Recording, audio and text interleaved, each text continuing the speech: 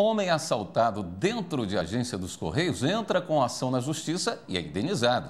Os detalhes com o repórter Caio Baltazar. Boa tarde, Caio.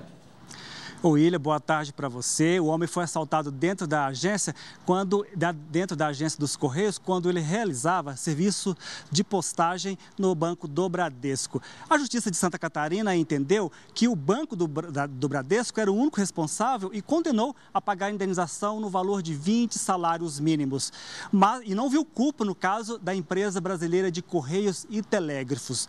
William, essa decisão foi reformada aqui no Superior Tribunal de Justiça. O ministro é, Humberto, perdão, o ministro Luiz Felipe Salomão, relator do processo, destacou que a ECT ela não é considerada uma empresa de segurança ou empresa de uma instituição financeira, mas que neste caso o banco ele presta serviços com segurança. E desta forma ele, ele representa também, no caso, é, por trabalhar com, com, com movimentação financeira, ele representa também é, perigo à sociedade. E o que, que ele fez, então, para resumir o final? Ele, desta forma, é, ele se tornou parte interessada no processo e condenou os dois, a ECT e o banco, a pagar a indenização. Com você. Obrigado, Caio.